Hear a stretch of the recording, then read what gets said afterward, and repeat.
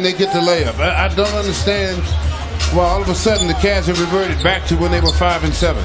20 to 9. Jerryd Bayless on the floor for them. Good to see Crowder go to the hole. Yes, get involved in the game. That's his game, the complete game.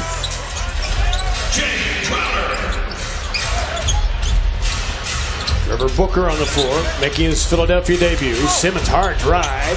Great job by Crowder to get a piece of it.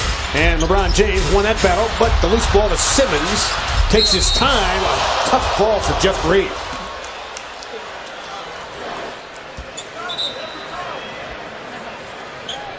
A submarine by Simmons through no fault of his own.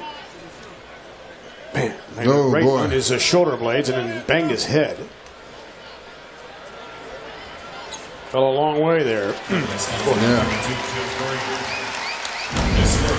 Well, seems to be okay.